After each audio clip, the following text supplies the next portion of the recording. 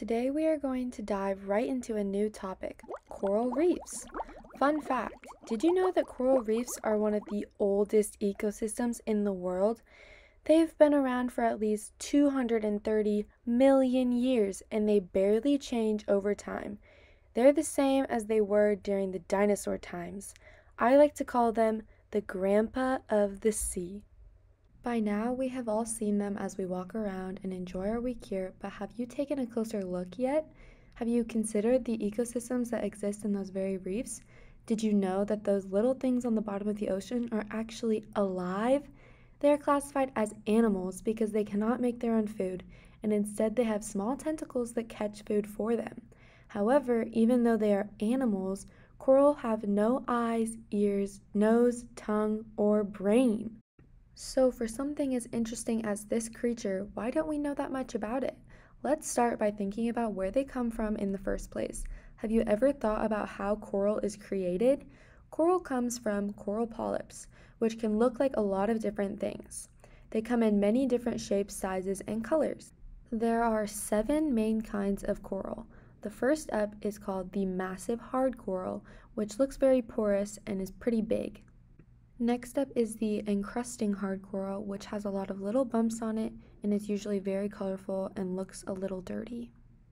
Next is called foliose coral, and it's commonly white and it kind of looks like a snowflake with the way that it reaches upwards. Next is the mushroom coral, which has a mushroom shaped body and it has ridges all around the outside. Next is the digitate coral, which is made up of cylinder like pieces, which can either be super short or really long. Now we have the table coral, which branches upwards and looks like a countertop.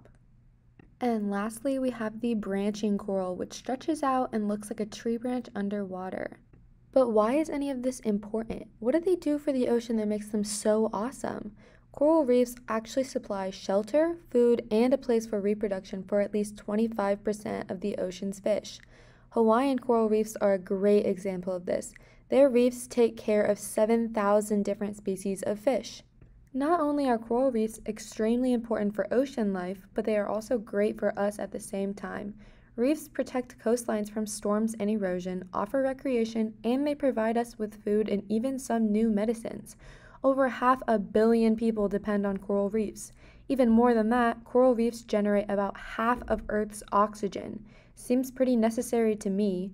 These pretty areas of the sea are key to the survival and success of life on and off land. So, now that we know more about these brilliant, important, and interesting creatures that make up the reefs we know and love, let's go explore them. It's hard to believe their beauty and variety through pictures, so let's go out and get a good look.